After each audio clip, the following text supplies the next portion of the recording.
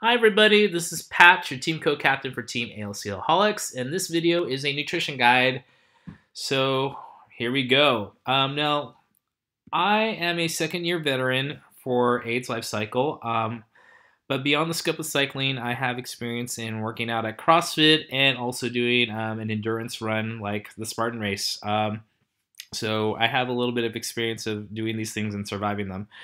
Um, but let's go ahead and get started on this topic. Um, now, as you know, we all love to go cycling, we love to train, we love to have a good time, and we get lost in all the beautiful views and the wonderful people that we ride with. However, um, we tend to forget about one important aspect sometimes, and that's nutrition. Um, and why is nutrition so important to riding? Well, Nutrition is important because during extensive periods of physical activity, your glucose levels become depleted and dehydration sets in. So, optimum nutrition is essential towards having a successful ride, and failure to meet those needs will result in bonking and or dehydration. Um, so, basically, nutrition matters, right? Kind of true. Um, and you'll hear a lot of people talking about the topic of bonking and dehydration. So let's go ahead and go into a little bit of detail of what each of those are. Um, bonking, or hitting the wall, as some people call it, is, well, the condition of sudden fatigue and loss of energy, which is caused by depletion of glycogen stores in the liver and muscles. Um, some symptoms that occur during bonking is nausea, lightheadedness, blurred vision, headaches, poor coordination, weak legs, shaking, feeling very hungry, and my personal favorites, feeling anxious, irritable, confused, and emotional. So much fun. Love them, right? Yeah, not really. So that is what bonking is. Now, um, let's go into dehydration, which we all know is what happens when your body doesn't have as much water as it needs. Um, mild symptoms that occur during that is, you know, having a dry, sticky mouth, you're not urinating, or if you are urinating, uh, it's kind of dark, which is not cool. You have dry or cool skin. You maybe experience a headache or a couple of muscle cramps, and if you continue to not de- you know hydrate well, you'll go into more severe symptoms like you're not peeing at all, your skin's extremely dry, you're feeling dizzy, your heart's beating rapidly, your breathing's pattern is also rapid, sunken eyes, starting to feel sleepy, and faintness, which, which is never really good at all. Now, what do you do if one or the other happens? Well, first thing you should do is definitely pull over as soon as possible to the side of the road. Um, because safety first. Um, you don't want to have put yourself in a dangerous situation where you may collapse while you're riding, and you put yourself and others in danger. So that's not cool, right? So if you do feel those symptoms coming on, just pull over as soon as possible. Next thing you should do, especially during a training ride or during the week of the ride, is you want to signal thumbs down.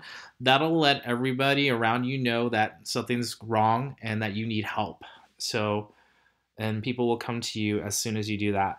So be sure to be aware of that. Um, and then next thing you should do is definitely focus on um, eating and drinking simple carbs immediately, um, especially if you're bonking, because you need um, sugar into your system to help get you back to where you're at. And then if you are hydrating, you definitely want to do it slowly. You don't want to upset your stomach. Um, so make sure you just take it easy on yourself. And then last but not least, uh, recovery, recovery, recovery. Um, you know, sit down for at least 15 to 30 minutes if you're feeling bonking symptoms coming on. Um, at that time, you're already out of commission, dude. So uh, you are no longer fit to ride, and you just got to take it easy on yourself. Um, that is basically your focus right there. And if you're close by, you know, make sure you have somebody with you to walk you back to your place. Or if you're not close by, make sure you know you find somebody to pick you up and actually drive you home because safety first. So there you go. And here at AIDS Life Cycle, we have a little motto that is basically saying eat before you feel hungry and drink before you feel thirsty. And you'll hear that quite often throughout your process here. And there you go. All right, so let's go ahead and reroute to what we were talking about before, which is fueling. Um, so, what are we going to do when we fuel? Well, the night before, you definitely want to focus on treating yourself. That's right. Um, the night before, you want to focus on some simple carbs. Enjoy yourself. Have some potatoes, have some rice, have some pasta. Hell, have a slice of pizza. You know, you are um, going to be riding, you know, 20 plus miles, and that's a lot of miles. You know, that's not normal. You're working hard, so you know, enjoy yourself the night before and and treat treat yourself essentially. All right.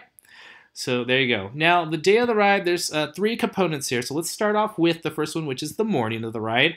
Um, about 90 minutes to two hours before, you want to focus on eating complex carbs. Now, what are those? Well, essentially that's oatmeal or other whole grains. Um, you want to add in either fr- fruits and veggies as well into that, or some lentils. Um, now, the reason why we want to have complex carbs in our system is because those are going to slowly but surely release into your bloodstream throughout the day. So they're kind of like a supplement that help you out during the ride, even though you're eating them in the morning.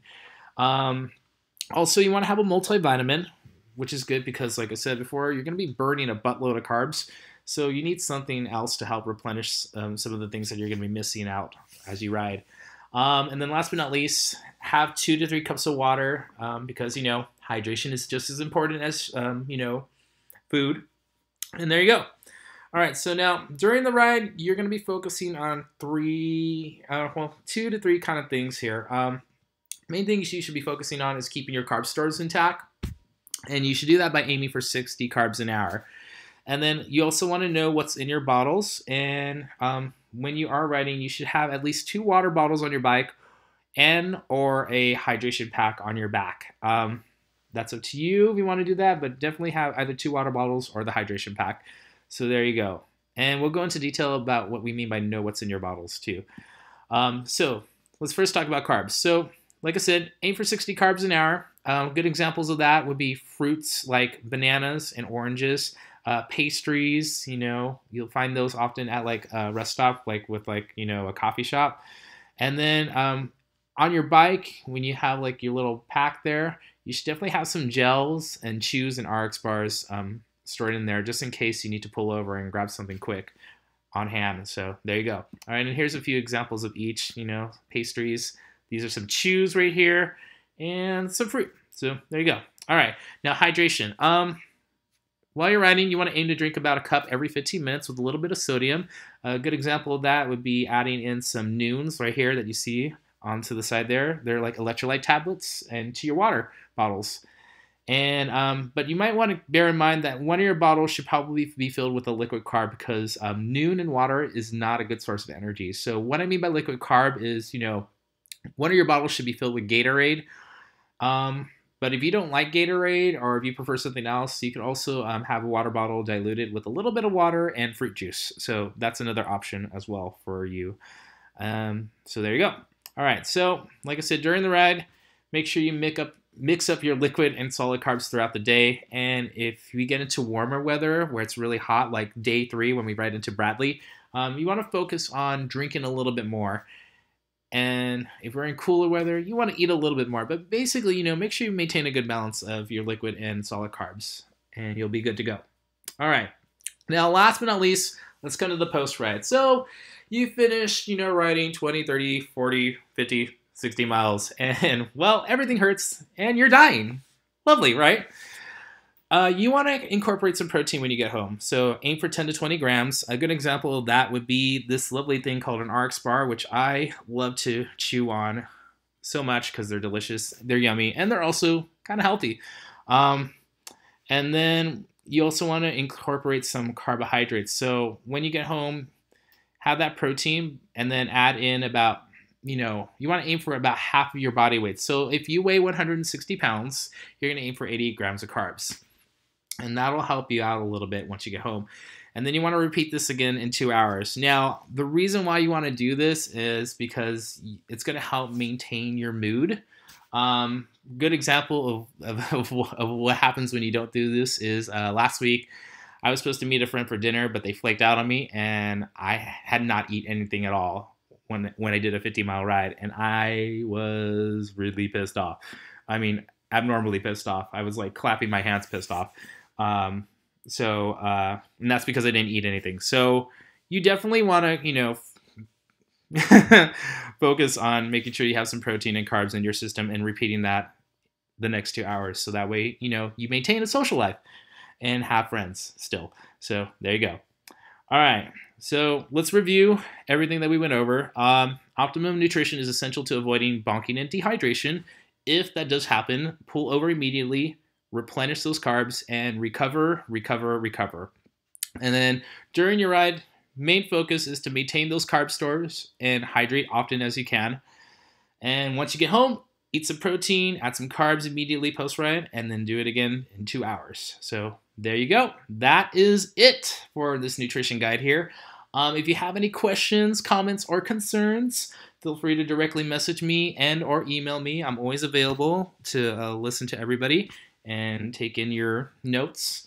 And if there's anything else, uh, well, I'll see you around soon on or out. All right. Thank you very much for watching and have a lovely day, folks. I'll see you around. Bye.